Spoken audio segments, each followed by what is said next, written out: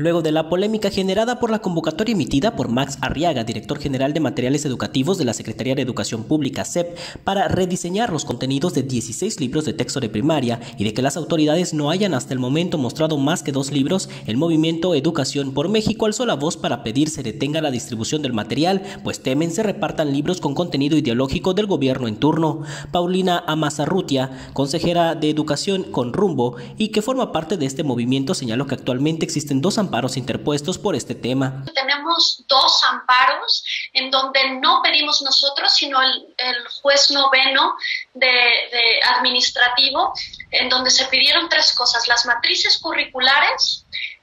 los contenidos ya diseñados y el convenio de confidencialidad para generar una pericial pedagógica en la que se pueda revisar si realmente los libros son constitucionales o no.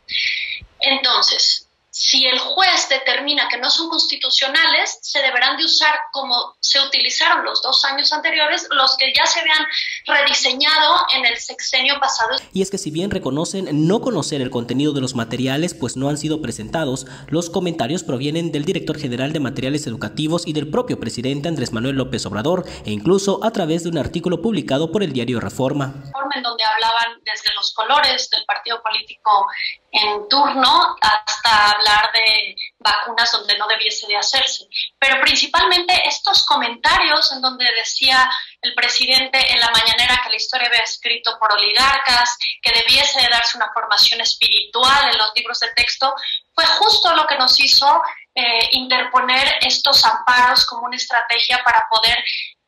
parar esta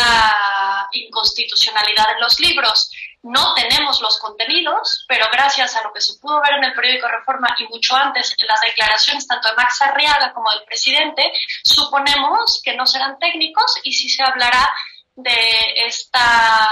idea eh, de fifis y chairos, de neoliberales y todas estas ideas poco científicas, poco constitucionales que tiene el presidente. Cabe señalar que por su parte, Delfina Gómez Álvarez, secretaria de Educación Pública, aseguró que no habrá nuevos libros para el curso 2021-2022, pues señaló que se distribuirán materiales con contenidos anteriores, es decir, los aprobados en 2011 y algunos diseñados en 2017, pues para enviar nuevos primero hay que hacer planes y programas de los contenidos. Con imágenes de Ulises Medina, Luis Más, Notivisión.